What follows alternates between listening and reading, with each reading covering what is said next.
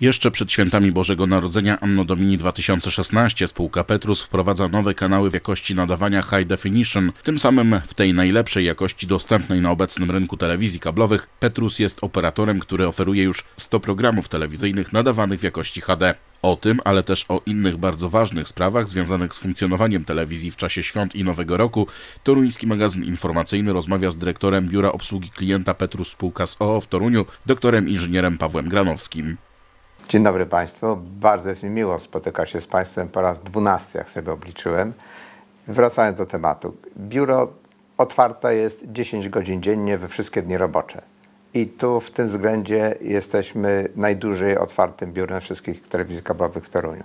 W okresie świątecznym, no z przyczyn oczywistych, w dniach 22 i 23 oraz w dniach 29 i 30 biuro będzie otwarte nie do godziny 18, ale do godziny 15. Wielu abonentów każdego dnia odwiedza biuro obsługi klienta, które też z myślą o klientach się zmienia. Zakończyliśmy taki generalny remont y, dwóch pomieszczeń, to trwało kilka lat, w których, do których wchodzą abonenci, czyli mówię o samej sali obsługi abonenta i w tym roku zamknęliśmy temat y, remontu w dziale rachunkowości abonenckiej. Niewątpliwie staramy się maksymalnie wykorzystywać ten fakt, że jesteśmy telewizją lokalną i staramy się utrzymywać jak najlepszy kontakt z rynkiem, z naszymi abonentami. Dysponujemy wielopoziomowym call center. Tak? Oprócz doradców pracujących w biurze są również doradcy funkcjonujący na sieci. Na odpowiedzi na uwagi Państwa, tak, staramy się y, przypominać wszystkim tym, którym kończy się okres zobowiązania umowy, że to ma miejsce i że zapraszamy do biura, bo są, są już obecne ciekawsze, ciekawsze oferty. Pracujemy na bardzo nowoczesnym systemie obsługi klientów, system klasy CRM, to jest Customer Relationship Management do relacji z klientami, oprócz strony finansowej, wszelkie Państwa zgłoszenia, uwagi, to później ułatwia serwis.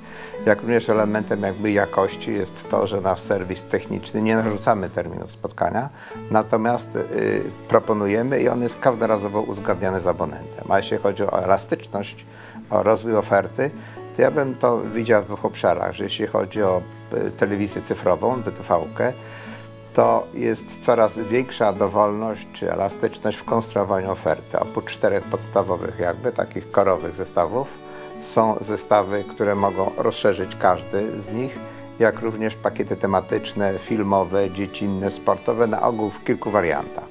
Jeśli chodzi o ofertę internetową, to w chwili obecnej nasze możliwości techniczne pozwalają oferować na całej sieci w Toruniu transfer do 300, nawet do 600 mega, megabitów na sekundę, czyli to jest transfer oferowany ostatnio przez tutaj konkurencję, która się pojawia. Natomiast y, to, co nas odróżnia być może, że my gwarantujemy stałą cenę przez cały okres umowy, a jeżeli, jeżeli ma miejsce taki skok, to informujemy o tym na samym początku to jest jednoznacznie zaznaczone na naszych ulotkach.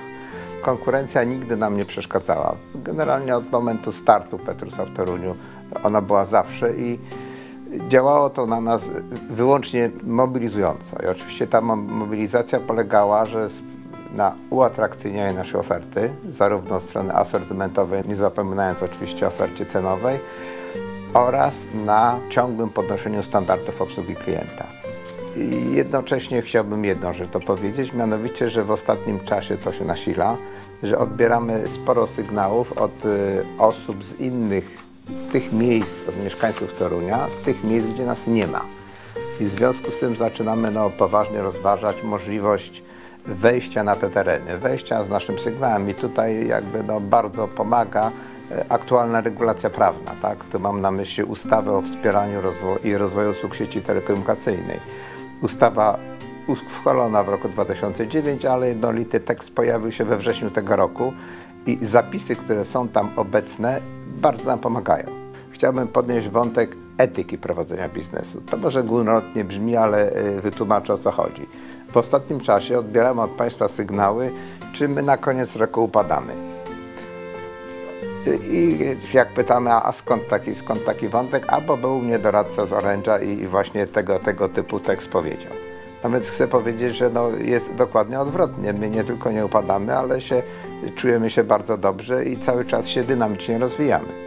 Jeśli chodzi powiedzmy o przeszłość, to w tego typu różnych informacjach, to w momencie, kiedy na osiedle Rubinkowo, czyli nas, nazywamy to matecznikiem, pojawiły się multimedia, to w początkowym okresie doradcy multimediów no były różne sygnały, że tu prawda, już nie będziemy nadawać cyfry, że jak za dwa tygodnie to już nie będzie Petrusa, że jak nie podpisze to straci sygnał.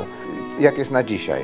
Na dzisiaj my funkcjonujemy i dobrze, natomiast multimedia jako marka znika z rynku, bo już generalnie wiadomo, że nastąpiło przejęcie od UPC. Wracając do lokalności, co na początku się pojawiała, staramy się utrzymywać kontakt z mieszkańcami Torunia niekoniecznie poprzez świadczenie usług. jesteśmy obecni w takim no, sponsoringu, zwłaszcza obszaru no, jakby działalności sportowej.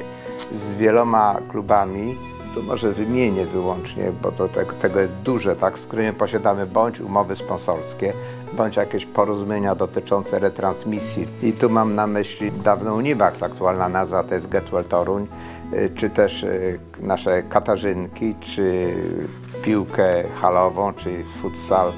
Relacjujemy pomeczowo spotkania polskiego cukru. Jesteśmy często jedynymi, którzy pokazują trzecią ligę Lany Toruń myślimy o powrocie do współpracy z Nestą, czyli to o hokej. Oczywiście pokazujemy hokej na trawie, to też jest ekstra klasa obecna w Toruniu. Te dyscypliny sportu, które na ogół nie trafiają na anteny ogólnopolskie i tym sposobem realizujemy tą naszą misję i to wszystko dzieje się w ramach tego samego magazynu, w którym jest ten wywiad, czyli Toruńskiego Magazynu Informacyjnego. Kończąc wątek współpracy z klubami sportowymi, co prawda jest specyficzny domena sportu, ale od kilkunastu lat jesteśmy partnerem i sponsorujemy zawody strażackie.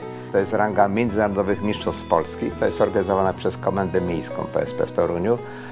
Czy to są w terenie otwartym, czy halowe, a nawet się kilkukrotnie trafiły Mistrzostwa Europy też w obsadzie niekoniecznie europejskie, bo wiem, że na jednym byli na przykład strażacy reprezentowani byli z inne, inne kontynenty i bardzo jesteśmy z tego, obie strony są zadowolone. Nie jesteśmy oczywiście jedyni, ale cieszy nas taka obecność i ten sposób kontaktu z Toruniem. Współpracują Państwo także z bardzo ważnymi instytucjami dla miasta, takimi jak Toruńskie Centrum Zarządzania Kryzysowego. Tu ta współpraca zaczęła się kilka lat temu, kiedy wygraliśmy przetarg na dostawcę internetu dla tego centrum. Oczywiście w tym wypadku tu jest zastosowane dość na tamte czasy unikalne rozwiązanie z racji niezawodności oczekiwanej przez tego partnera. Są wpięci do naszego światowodowego no, szkieletu. W trosce o klienta, ale też i z myślą o pozostałej części społeczeństwa, mieszkańców Torunia, Spółka Petrus współpracuje także ze społecznikami w mniejszych często inicjatywach, ale współpracuje także z dużymi firmami, takimi jak chociażby Targi Toruńskie. Z targami od wielu lat posiadamy umowę partnerską. Nasze ekipy są obecne na różnych wystawach, wydarzeniach specjalnych typu jak jarmarki, kiermasze, bardzo rozmaitych branż. Nieruchomości motoryzacyjne, ogrodnicze, ślubne, wypoczynkowe, no i oczywiście takie okazjonalne, wielkanocne i bożonarodzeniowe. Wracając trochę do tematu rynku, bardzo ciekawego, dynamicznego, konkurencyjnego rynku, był on konkurencyjnym i bardzo dynamicznym, ta oferta 100 programów HD może zadowalać mieszkańców? Więc powiem tak, jeśli chodzi o standard HD, kiedy on się zaczął w Petrusie, on się zaczął na, jak miała miejsce Olimpiada w Pekinie, czyli to był rok 2008. Nasza oferta łączna w tej chwili, w ogóle jeśli chodzi o ofertę telewizji cyfrowej, to jest około 200 programów. Z czego się bardzo cieszymy, to 94%, bo to sobie policzyłem przed wywiadem, naszych abonentów korzysta z usług telewizji cyfrowej. Jesteś, to jest to jeden z najlepszych wskaźników wśród operatorów kablowych w ogóle w Polsce. Nie mówiąc o Toruniu, gdzie zdecydowanie jest to najwyższy wskaźnik spośród wszystkich kablowych. Mamy obecną w sieci grupę programów cyfrowych niekodowanych. Czyli one są dostępne dla tych 6%, tak? Oczywiście, o ile mają pakiet rozszerzony. Tam są oczywiście wszystkie programy, które są na multiplexach naziemnych, plus te nadawane w tak zwanej formule free to air. Czyli to są przykład programy niemieckie. To jest około 30 programów i one wszystkie są też w standardzie kablowym dla VBC. Jako ciekawostkę powiem, że Petrus w swojej sieci ma uruchomione 32 multiplexy. Dla porównania powiem, że telewizja naziemna ma uruchomione 3 multiplexy, pracuje nad czwartym. Więc to świadczy o naszym wysiłku i technologicznym, i organizacyjnym. Poza tym jeszcze jedna ciekawostka. Jesteśmy jedynym w Toruniu operatorem kablowym, który oprócz standardu HD ma w swojej sieci eksperymentalny standard K4. Większość telewizorów aktualnie sprzedawanych jakby reklamuje się tym. Czym się różni K4 od HD? Większością pikseli. Tu przygotowałem sobie cyferki. Standard HD to jest 1920 na 1080 pikseli na ekranie, a standard 4K czy K4 to jest 3840 na 2160. I jeśli chodzi teraz o program 100 HD, to dostawcy kontentu, którzy jeszcze niedawno życzyli sobie, żeby program był w dwóch standardach technicznych w sieci w SD i w HD, w chwili obecnej dość masowo wychodzą ze standardu SD. Nam się uwalniają kanały oczywiście, także nas to cieszy i to się aktualnie dzieje. Ci wszyscy z Państwa, którzy na pewno zauważyli Państwo specjalną planszę. Jak się wchodzi na kanał, na którym było wycofane SD, to jest plansza, która podaje numery kanałów, na których jest standard HD. Tym sposobem ci wszyscy z Państwa, którzy w swoim pakiecie mieli określony program wyłącznie w standardzie SD, w chwili obecnej mają go w HD. On nie został wycofany z oferty. Tych programów z takiej likwidacji wersji SD jest rzędu kilkunastu. To, co w planie mamy. W planie to są takie programy, które były dostępne w SD, a w chwili obecnej one przechodzą do HD. One były pojedyncze w SD. Takich programów są trzy. I tu szczegółowo ta trójka to jest TVP Info HD, TTV HD i BBC Lifestyle. I powiedzmy i następna grupa to są w ogóle nowe programy HD. Zoom HD, Nowa HD, Metro HD, WP HD i BBC HD.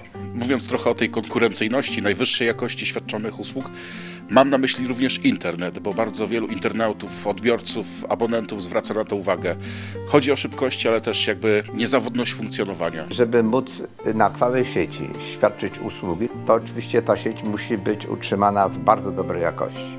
Znowu poczęstuję Państwa ciekawostką techniczną. Jak zaczynał się internet, to było zaledwie kilkanaście lat temu, to wtedy do transferu pasma do państwa wykorzystywaliśmy dwie częstotliwości nośne. Kolejne etapy to były, potem było 4, 8, a aktualnie wykorzystujemy 16 kanałów, na których pasmo dociera i urządzenia przez nas instalowane, modemy kablowe, one potrafią się zasilić z 16 strumieni. Tym sposobem są możliwe te tak duże transfery, o których mówiłem. To jest technologia, która obecna, kablowa, tak zwane DOCSIS 3.0, a przed nami jest jeszcze DOCSIS 3.1, który stwarza jeszcze większe możliwości. Nie mamy jeszcze sufitu przed sobą, jeśli chodzi o, o technologię.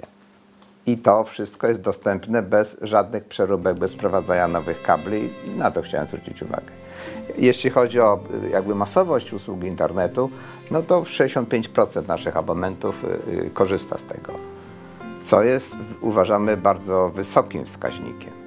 O tym Centrum Zarządzania Kryzysowego była już mowa, ale to też świadczy chyba o na, naszej jakości i, i klasie tej usługi. Ale by wszystko mogło funkcjonować tak, jak należy, potrzebny jest po pierwsze bardzo dobry serwis techniczny, ale też i duża świadomość mieszkańców, by nie ingerować w sieć. Podam kilka istotnych faktów, jeśli organizację serwisu.